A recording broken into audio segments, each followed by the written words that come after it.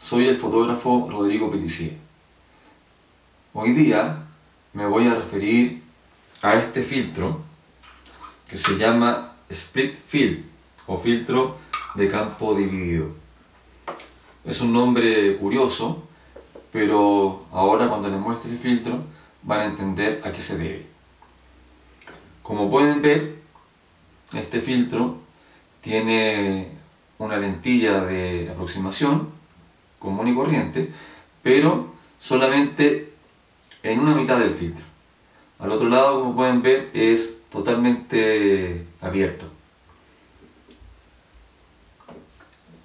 Yo sé que parece un filtro muy extraño, pero esto tiene, por supuesto, una finalidad. El lado donde está la lentilla nos permite enfocar en un plano muy cercano a la cámara. Si uno toma una fotografía con un fondo que está muy lejos, nos va a permitir el lado de la lentilla enfocar algún objeto que esté a unos 80 centímetros más o menos. Entonces, ¿qué ventaja nos da este filtro?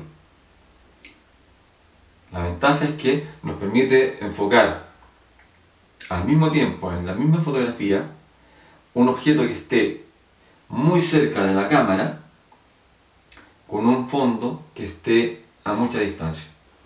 Es decir, nos permite recrear una profundidad de campo bastante considerable, mucho mayor que si tomáramos la fotografía con un diafragma 22, por ejemplo ni con un diafragma 22 podríamos tomar enfocado un plano tan cercano con respecto a un fondo que estaría más allá del infinito.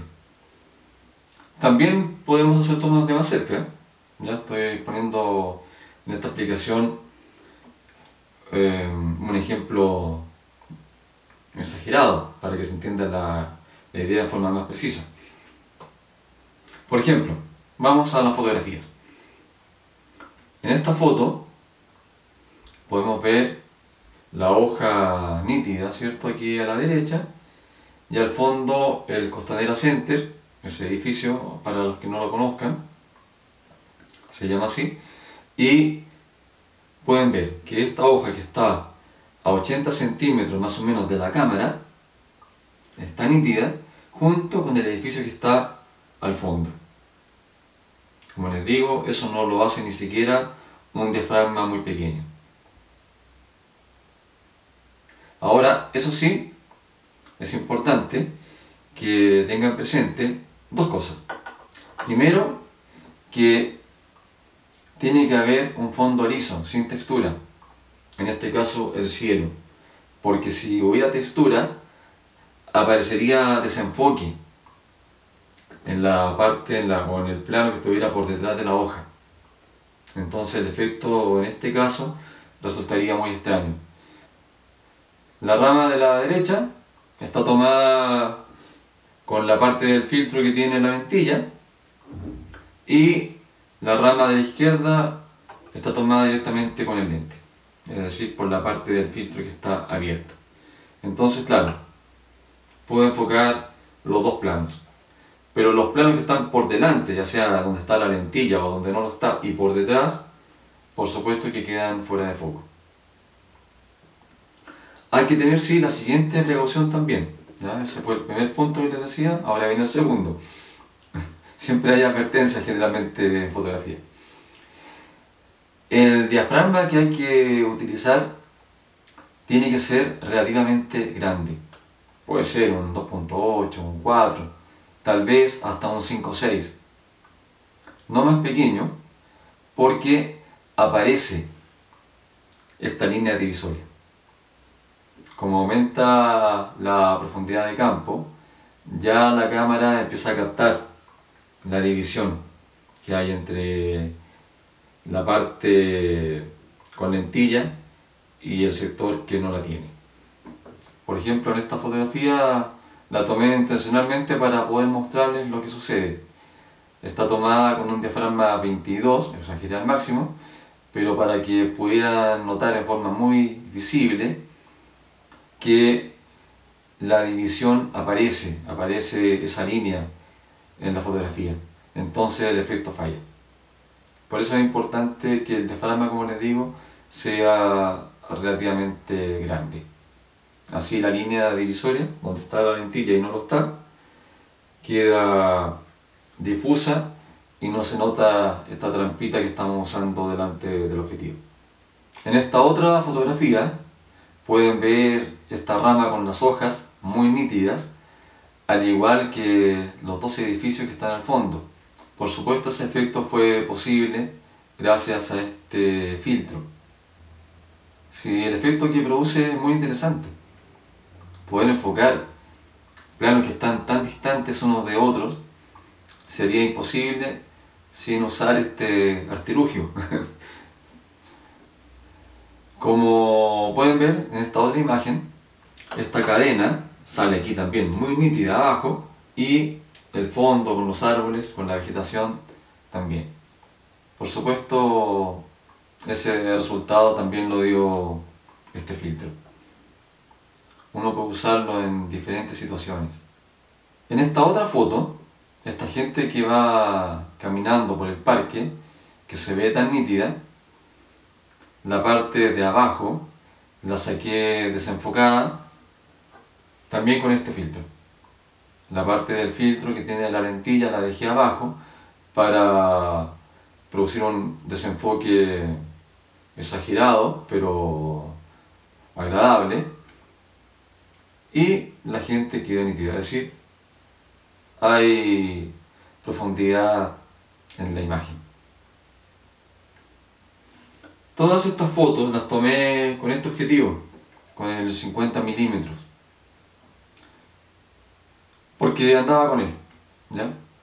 Porque si hubieran dado con este zoom 35-80 milímetros, probablemente lo habría ocupado en, en gran angular, por lo menos 35 milímetros. Eso da la posibilidad de poder jugar más con los dos planos, porque me tenía un poco limitado el espacio donde tengo lentilla y donde no tengo. Además que andaba con la cámara la 7100. Entonces, este 50 milímetros queda como un tele corto. Pero lo hice para mostrar que sí era factible usar una cámara de X o de sensor APS-C con el 50 milímetros ya que es un equipo que mucha gente tiene. Pero para los que tengan cámara full frame y gran angular les va a ser un poco más fácil ocupar este filtro. Le acabo de poner el filtro split field al objetivo de la cámara para poder hacer esta toma.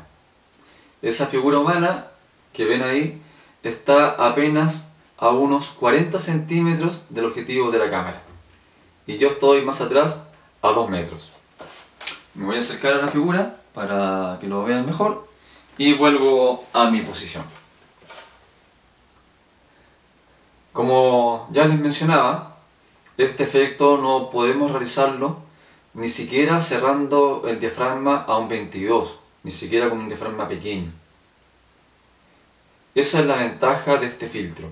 Nos permite enfocar en dos zonas, en dos planos, que están a bastante distancia. Pero les recalco, es importante que el fondo sea liso, porque si tiene textura, se delata este efecto y no resulta. Se lo voy a demostrar con mi mano y con el brazo, ¿se fijan? Habiendo textura, se ve el desenfoque, se hace evidente y el efecto fracasa. Como pueden ver, el filtro ya no está puesto en el objetivo de la cámara y por ese motivo la figura queda totalmente fuera de foco. Esto lo hice para que realmente puedan apreciar lo interesante que es utilizar este filtro. Este filtro es maravilloso. Miro hacia acá porque aquí lo tengo. ¿eh? Aquí tengo el filtro, por eso estoy mirando hacia allá mientras hablo de él. Yo creo que no es muy conocido el filtro. Me parece a mí que deberíamos usarlo. No digo en todas las fotografías. No, además que es complejo usarlo, hay que aprender a usarlo, ya hay que tomar por eso cierta práctica. Pero yo creo que la mayoría de la gente desconoce que este filtro existe. A mí me parece interesante ocuparlo para algunas fotografías, porque nos da una posibilidad que el objetivo por sí solo no puede hacerlo. Como les digo, ni siquiera cerrando el diafragma al máximo puede conseguir efectos tan interesantes como este. Nuevamente está puesto el filtro en el objetivo para que podamos tener a foco esa figura. Lo sacaré de ahí para que puedan apreciar el tamaño real que tiene. Aquí está. Por supuesto no lo pondré por este lado porque ahora sí lo verán totalmente desenfocado. Mi intención fue presentarles este filtro para que vean las posibilidades que nos da. Ojalá, si les interesó este efecto que permite realizar, lo puedan adquirir. Bueno, hasta aquí llega el video. Si les interesó, por favor, suscríbanse al canal. Y si tienen amigos que les interese la fotografía, por favor compártanlo también con ellos. ¿Ok? Para que así puedan ver todo este contenido que les he ido entregando durante mucho tiempo.